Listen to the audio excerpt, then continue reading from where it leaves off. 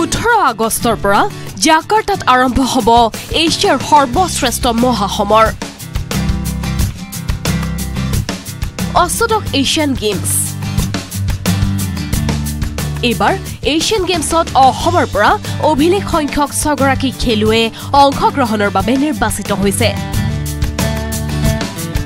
নিৰ্বাচিত প্ৰতিভাৱান খেলুৱৈসকল ক্ৰমে boxer Shiva Thapa sprinter Hima Das fencer Kabita Devi shuttler Asmita Chaliha archer Pramila Daimary আৰু টাইকোৱাণ্ডৰ ৰদালি বৰুৱাক লৈ আশাবাদী সমগ্ৰ ৰাজ্যবাসী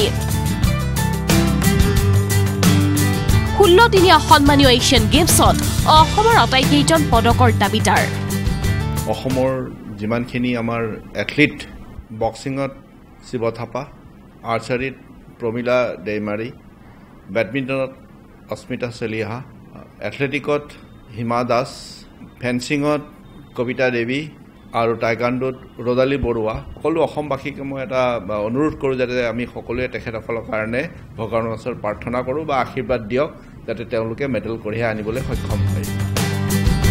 আগন্তুক এছিয়ান গেমছত বক্সাৰ শিৱ থাপাই অংশ ল'ব গেমছৰ পুৰুষৰ ষাঠি কেজি লাইট ৱেইট শাখাত। স্প্লিণ্টাৰ হিমা দাসে মহিলাৰ দুশ মিটাৰ চাৰিশ মিটাৰ আৰু চাৰিশ মিটাৰ ৰিলেত অংশ ল'ব এছিয়ান গেমছৰ টাইকোৱাণ্ডৰ মহিলাৰ তেসত্তৰ কেজি শাখাত অংশ ল'ব অসমৰ ৰদালি বৰুৱাই बहुत अच्छा अगर वो जिस तरह प्रैक्टिस में खेलती है ऐसे ही अगर निडर होके वैसे वहाँ पे खेलेगी तो श्योरली वो मेडल लेके ही आएगी और हमारी हमेशा ही उसके साथ से आशाएं हैं कि वो मेडल लेकर आए ফেন্সাৰ কবিতা দেৱীৰ পৰাও পদক আশা কৰিছে দেশবাসীয়ে। ঠিক সেইদৰে শক্তিশালী ভাৰতীয় মহিলা বেডমিণ্টন দলত স্থান লাভ কৰিছে অসমৰ অস্মিতা চলিহাই।